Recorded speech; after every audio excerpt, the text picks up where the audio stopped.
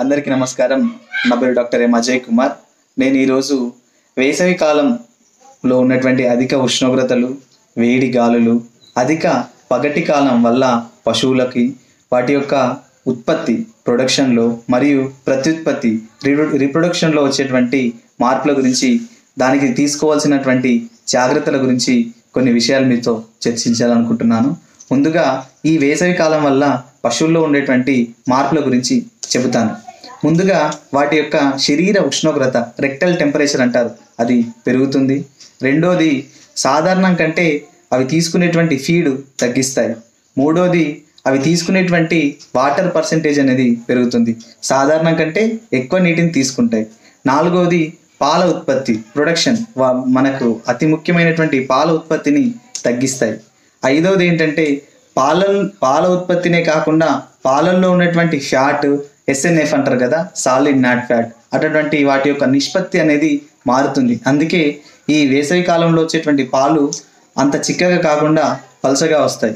ఐదోది ఆరోది ఏంటంటే మామూలుగా ఈ వేసవి కాలంలో పుట్టినటువంటి దూడలు ఎలా ఉంటాయంటే చలికాలంలో కానీ వర్షాకాలంలో కానీ పుట్టిన దూడల కంటే పెరుగుదల అనేది చాలా తగ్గు తక్కువగా ఉంటుంది. చివరిది ఏంటంటే మామూలుగా మన దగ్గర ఉన్నటువంటి పశువుల యొక్క బరువు తగ్గుతుంటుంది. కనుక ఇటువంటి ప్రా ఇటువంటి అనేక సమస్యలు ఈ అధిక ఉష్ణోగ్రతలు పశువులపైన కలిగిస్తాయి. మరి వీటిని మనం ఎలా ఎదుర్కోవాలి అనే విషయం గురించి ఇప్పుడు చెప్తాను. ముఖ్యంగా మన పశువులలో ఇవి ఎక్కువ ప్రాబ్లం గేదెలలో చేస్తాయి. అయితే గేదెలకు ఎటువంటి జాగ్రత్తలు తీసుకోవాలంటే ముందుగా డైరీ ఫామ్లు కాకుండా ఊర్లో ఉండేటువంటి ఇండివిజువల్ బర్లు అన్నీ కలిపి ఒక మందలాగా వెళ్తుంది కదా దాని గురించి చెబుతాను. ముందుగా ఈ ఉష్ణోగ్రతలు అధిక ఉష్ణోగ్రతలు ఎప్పుడు ఉంటాయంటే పదకొండు మధ్య ఉదయం పదకొండు గంటల నుంచి సాయంత్రం నాలుగు గంటల వరకు మధ్యకాలంలో అధిక ఉష్ణోగ్రతలు ఉంటాయి కనుక రైతులు ఏం చేయాలంటే ఈ పదకొండు గంటల నుంచి నాలుగు గంటల వరకు మధ్య కలిగినటువంటి అధిక ఉష్ణోగ్రత మధ్య అధిక ఉష్ణోగ్రత కాలాన్ని పశువులను మేప మేతకు పంపకుండా ఉండాలి. అంటే పశువులని ఉదయం ఆరు గంటల నుంచి పదకొండు గంటల వరకు మేతకు పంపి తర్వాత ఇంటికి తీసుకొచ్చి తర్వాత నాలుగు గంటల తర్వాత మళ్ళీ మేతకు పంపాలి. అయితే కొన్ని కొన్ని అన్ని అన్ని సార్లు అన్ని ప్రదేశాల్లో ఇది సాధ్యం కాకపోవచ్చు. అలాంటి సందర్భాల్లో మనం ఏం చేయాలంటే ఎక్కడైతే ఆ పశువుల కాపరు ఉంటాడో అతనికి స్ట్రిక్ట్గా ఇన్స్ట్రక్షన్స్ ఇవ్వాలి. అతనికి గట్టిగా చెప్పాలి. ఉదయం పదకొండు తర్వాత ఎట్టి పరిస్థితుల్లో మా పశువులను మీరు మేపద్దు. వాటిని ఏం చేయాలంటే ఆ అడవిలో కానీ అతను తీసుకుపోయే ప్లేస్లో కానీ ఎక్కడన్నా ఒక పెద్ద చెట్టు ఉన్నట్లయితే ఆ చెట్టు కింద పడుకోబెట్టమని చెప్పాలి. ఎప్పటి వరకు? పదకొండు గంటల నుంచి నాలుగు గంటల వరకు. ఖచ్చితంగా పడుకోబెట్టమని చెప్పాలి.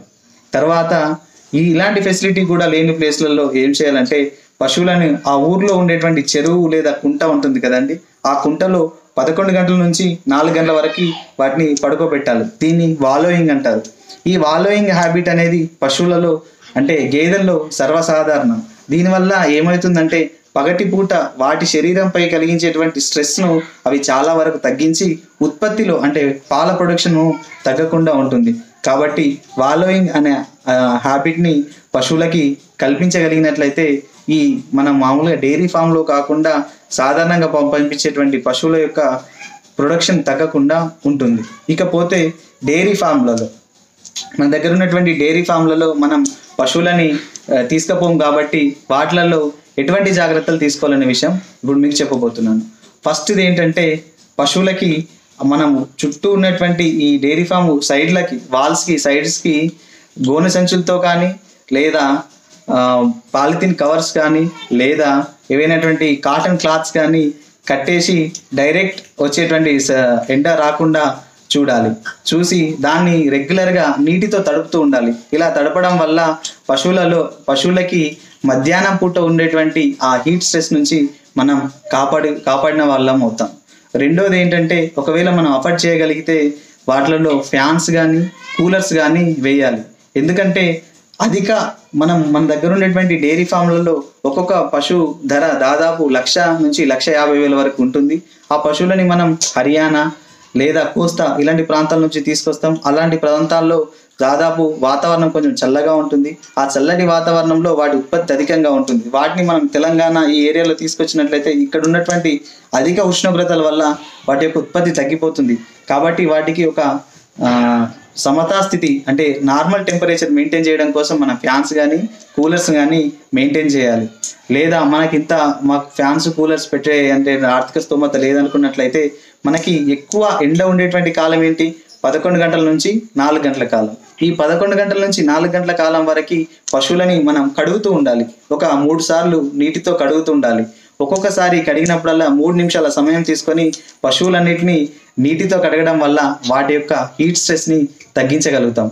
ఇప్పుడు ఆధునిక దేశాలలో ఏం చేస్తున్నారంటే షవర్స్ని ఫిట్ చేస్తున్నారు. షవర్స్ అంటే ఇక్క మొత్తం మనకి ఎలా అయితే బాత్రూంలో షవర్ ఉంటుందో అలా ఒకేసారి వర్షం పడినట్టు పశువుల మీద నీటిని చల్లుతాయి. ఇలా చల్లడం వల్ల పశువుల్లో ఉన్నటువంటి నీటి ఈ ఎండలో వచ్చినటువంటి స్ట్రెస్ తగ్గి వాటి ఉత్పాదకత పడిపోకుండా ఉంటుంది.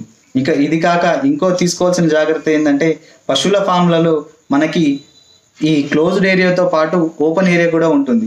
ఈ ఓపెన్ ఏరియాలో ఏం చేయాలంటే రాత్రిపూట పశువులన్నింటినీ కట్టేయకుండా సాయం అర్ధరాత్రి అయిన తర్వాత ఓపెన్ ఏరియాలో అక్కడక్కడ కట్టెలు అరేంజ్ చేసి వాటిని కట్టేయాలి. ఫ్రీగా కట్టేయాలి. కట్టేసినట్లయితే రాత్రిపూట వచ్చేటువంటి చల్లగాలుల వల్ల వాటి యొక్క హీట్ స్ట్రెస్ అనేది తగ్గుతూ ఉంటుంది.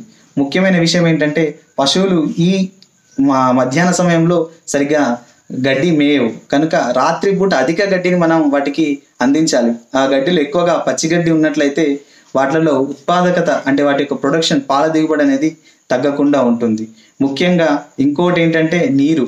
చాలా వరకు డైరీ ఫార్మ్స్లో ఏం చేస్తారంటే నీటి ఫెసిలిటీ ఎలా ఉంటుందంటే ఫీడ్ ఫీడ్ కోసం ఒక ట్రే కడతారు. నీరు అనేది కొంచెం దూరంలో ఒక చిన్న ట్యాంక్ కట్టి వాటిలలో పశువులను వదిలిపెడితే అవి మార్నింగ్ మధ్యాహ్నం సాయంత్రం తగు తాగుతుంటాయి. అలా కాకుండా ఈ సమ్మర్ సమయంలో ఖచ్చితంగా ఒక్కొక్క పశువుకి ఖచ్చితంగా అధిక నీళ్ళు మనం అందించాల్సిన అవసరం ఉంటుంది.